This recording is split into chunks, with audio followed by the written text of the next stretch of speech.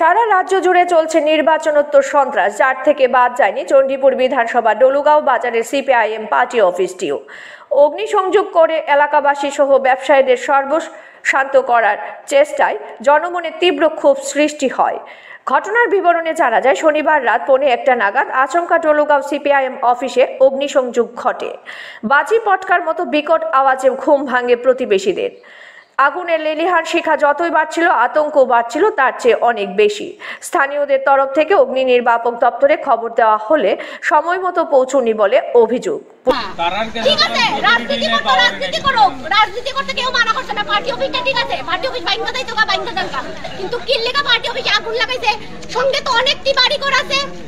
আপনার নাই, বাড়ি বাড়ি- সাতবার বাড়ি ফুটছে, একটা বাজার, একটা আপনার বাজার, বাড়ি মার্কেট। সাতবার ফুটা গেছে আজকে যদি আপনার বাড়িটা ফুটতো কিতা হইল না আপনারা কে দিলেন এ বাড়ি আমরা কই থেকে পাইলাম না এইসব আমরা একটা অবস্থা মূর্খ সমাজে বাস করি এরকম মূর্খ মানুষ কিছু থাকব আগুন লাগাই গই তারা লোক আমরা ইটা নিয়ে স্যার আমরা এই বাজারে তো সাত এই ইটা ইটাতে আমরা স্বচ্ছ ভারত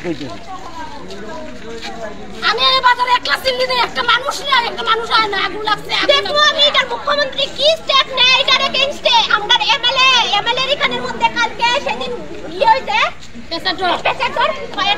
এক ঘণ্টা কি লেগে লাগছে।